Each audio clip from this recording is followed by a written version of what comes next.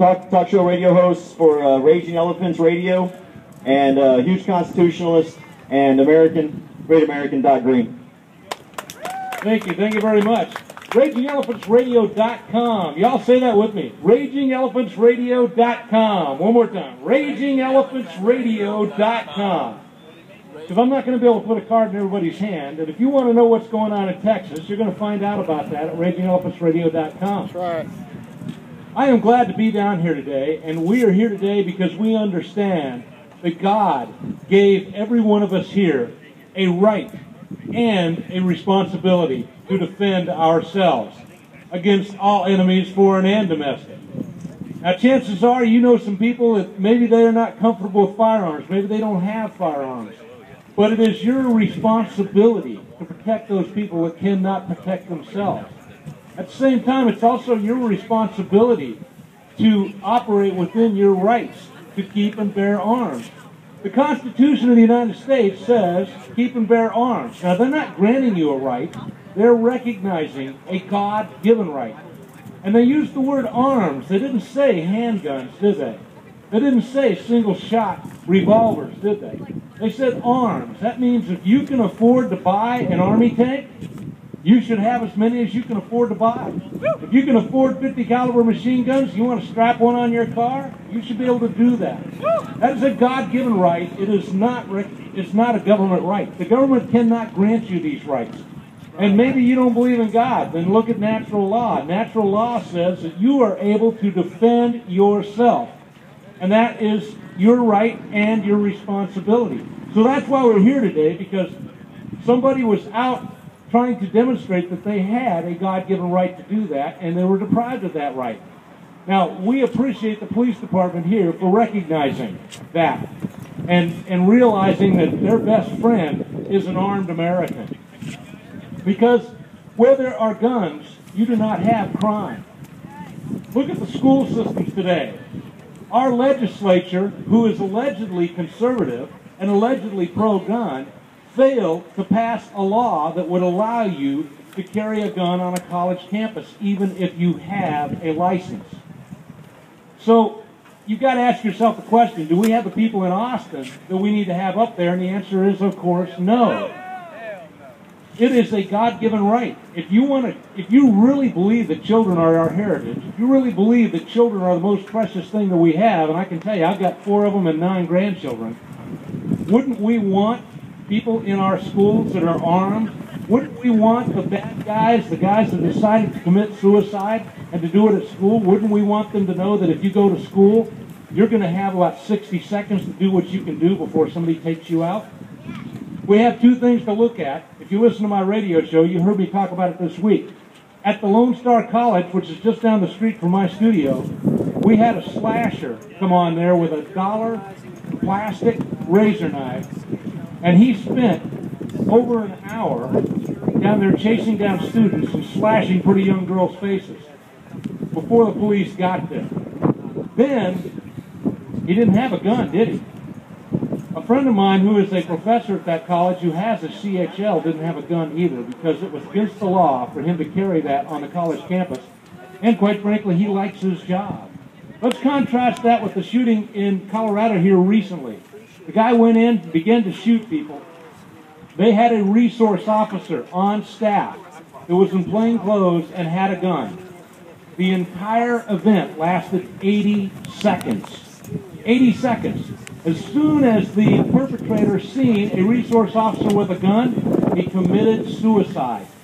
Simply the presentation of a weapon made all the difference. And that is why the police, particularly here in Harlingen and in a few other places now, they recognize an armed citizen is their best friend. Because crimes don't take place when you have armed citizens. So I just want to tell you that I'm with you. I am here. You see, I got my uh, 318 Capital business strapped on here. I'm here because I support you. I am one of you. And I love you guys. And I'm asking every one of you to please listen to the radio station because we are going to cover every candidate that is running for office. And if you listen to Raging Elephants Radio, you're going to be able to understand who these guys are. And maybe for some of you, for the first time in your life, you're going to walk into a voting booth and you're going to know those guys. You're going to understand what you're voting for.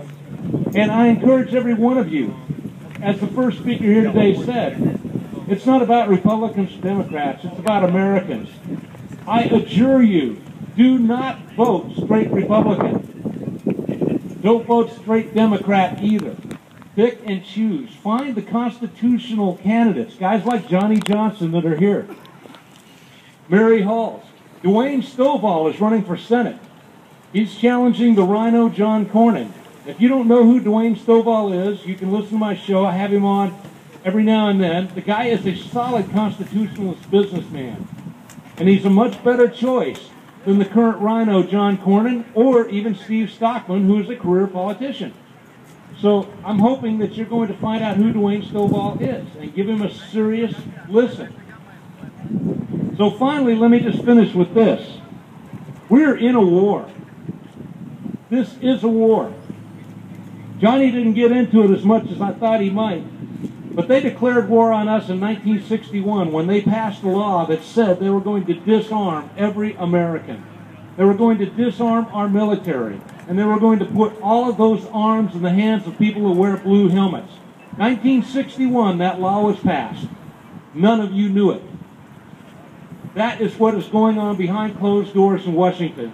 And we are here, like Joyce Schaefer sang in the song, to take our country back. This is not what we want it is absolutely important to understand that we are in a war. Now, we can fight this war several ways. Right now, we're fighting this war with words. We're fighting this war at the ballot box. When you are an educated consumer and you go into that ballot box and you don't vote straight party, you go into that ballot box and you pick and choose. Because there's some good libertarians, there's some good independents, there's a handful of good Republicans, I'm sure somewhere there's a good Democrat. I'm not, I, don't, I couldn't name him. But you got to pick and choose. You've got to know that. So we fight this war with words, we fight it with ballots, and then finally we fight it with numbers. Glad to see this turnout today. But I'm a little disappointed because at the Alamo, we had well over 1,200 people at the Alamo. I am a Texas independence representative. I like to, there should be 100 TNM guys here today, Texas Nationalist Movement, but there are not. And I want to know why. Because we are in a war. If we win this war with words, with votes, and with numbers, the war will be won. Our children will live in freedom. That will be the end of it. But if you fail to fight this war with votes and numbers and words, this battle is going to be fought with real bullets, real guns, and the blood of our children and our grandchildren. I cannot urge you enough to not let it get to that point. I am begging you guys to do what the Terry Holcomb plan is. The Terry Holcomb plan is for every one of you guys to get three people. Get your little finger in their buttonhole. Look them in the eye. And make sure that they make it to the polls to vote. Make sure that they understand what is at stake. I like this lady back here with the uh, de-sheepified shirt. That is fabulous. It's time that we become de-sheepified. It's time that we become what the government fears, and that is a government of the people. And that is the problem. We have them surrounded, but most of the people are asleep. It is our job to awaken them to what is going on. To let them know that in 1961, our politicians passed a law behind closed doors to disarm the American people. Even though the Second Amendment, recognizing a God-given right, it says right in the legislation it's inviolate, it can never be removed. Because if you remove it, the entire Constitution becomes null and void. So that's all I have to say to you people. God bless you. God bless Texas. And most importantly, will the people of Texas bless God? Thank you.